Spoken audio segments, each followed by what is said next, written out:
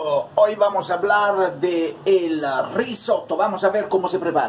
Eh, en italiano, para decir un platillo a base de arroz, se le dice riso, eh, pero cuando nosotros cocinamos un platillo a base de arroz, eh, está preparado con toda una serie de eh, productos y ingredientes que le dan prácticamente un resalto, que lo magnifican, en práctica nosotros le decimos risotto, eh, entonces risotto quiere decir más allá, más mucho más que simplemente arroz.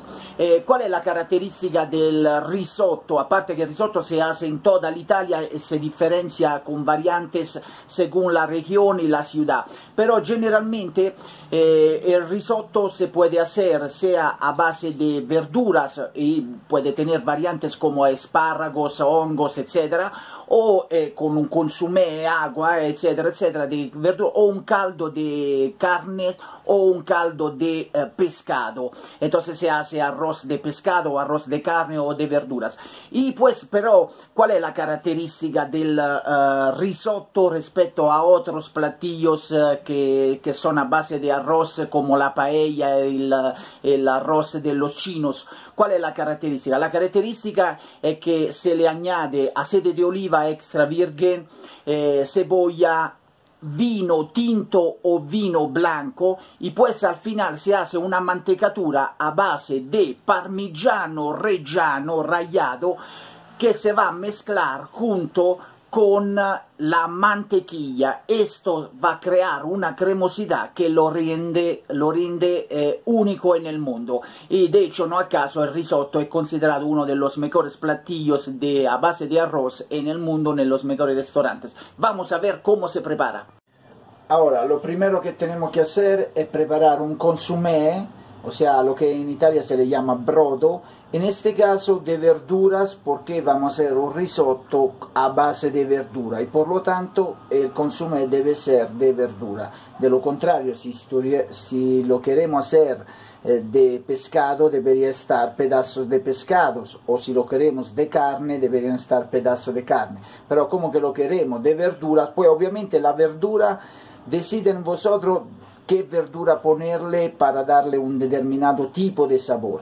Le vamos a añadir también un poco de sal, porque de lo contrario este consumé no tendría un sabor. Entonces le vamos a poner un poco de sal. Le vamos a poner una tapa y lo dejamos cocer hasta que no hierve y luego vamos a bajarle el fuego.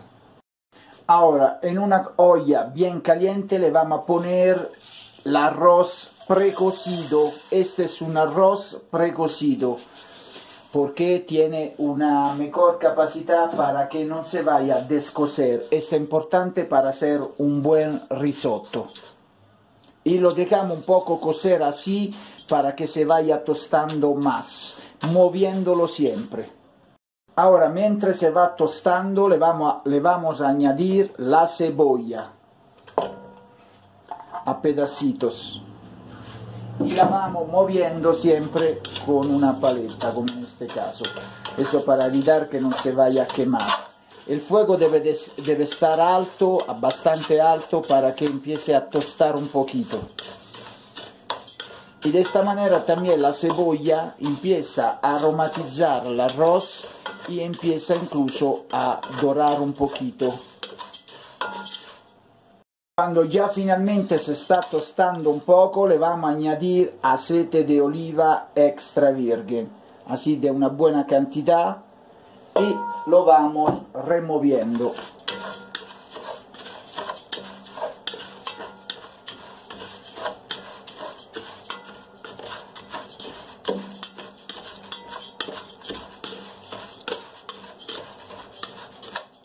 Ahora le vamos a añadir un poco de sal le vamos a añadir un poco de sal así y lo vamos moviendo. Mientras todavía está el fuego bien alto el fuego debe de seguir estando bien alto. Cuando ya finalmente está bastante caliente ahora lo vamos a sfumar con vino. Podemos poner vino blanco o tinto. Yo le pongo el tinto tipo un vaso, un medio vaso. de vino tinto y seguimos moviendo.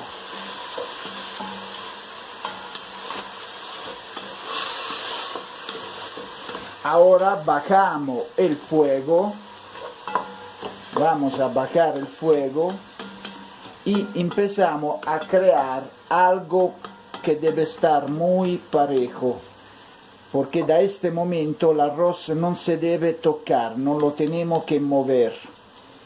Entonces lo vamos a poner parejo, así bien, como si fuera una, una especie de pizza.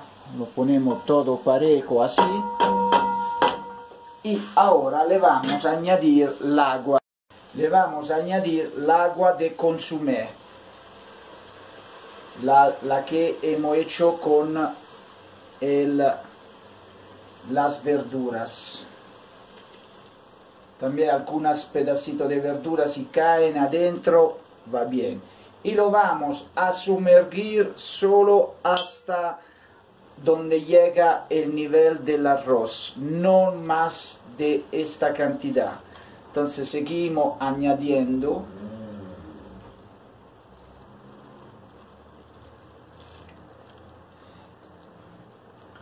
otro poquito y ya está. Bien, como pueden ver, así ya está. Y ahora lo vamos a tener siempre con el fuego bajo y lo vamos a cubrir. Como pueden ver, el agua de consumir ya está, entonces le vamos a tener el fuego bajo y con esta agua de vez en cuando vamos añadiéndola en la olla donde está el arroz. En el mientras vamos a rallar parmigiano reggiano, este parmigiano reggiano DOC, proveniente propio de Italia, el verdadero, el original.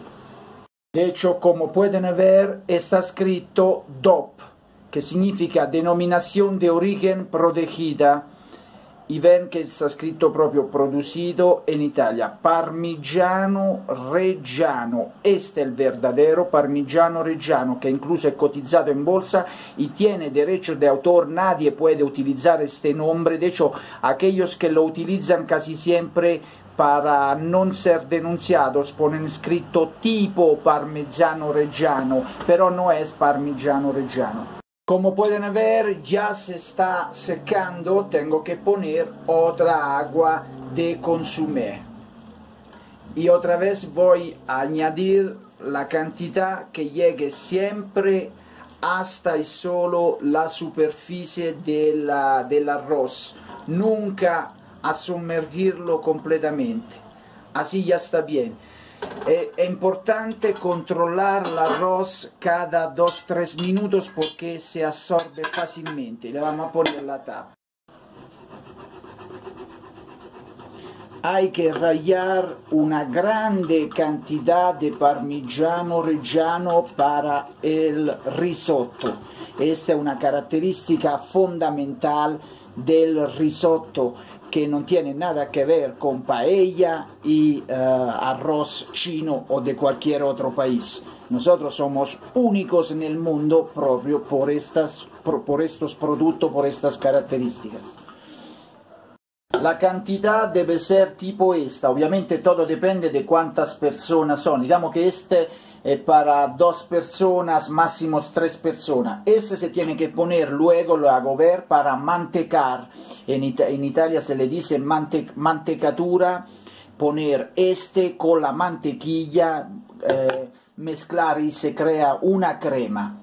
Nuevamente, como pueden ver, se ha, se ha casi secado entonces voy a poner otra agua de consumé.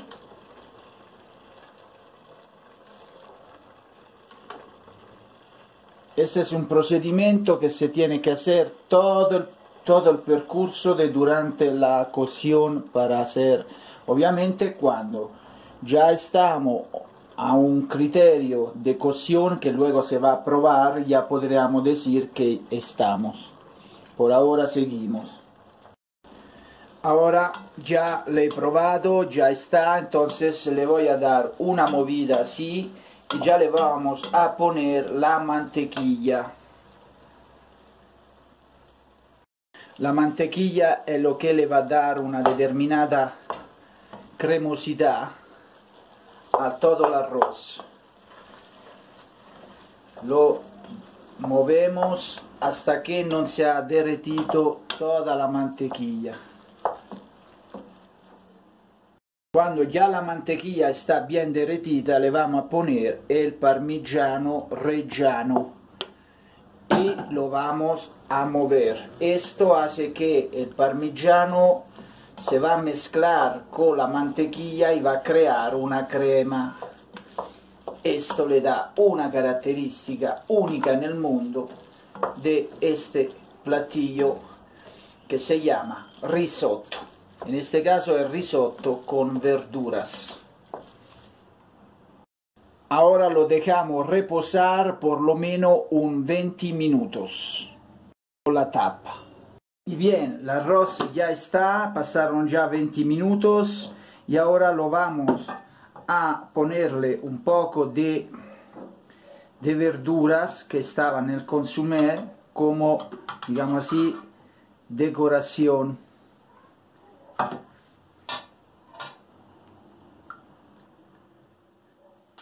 Y ya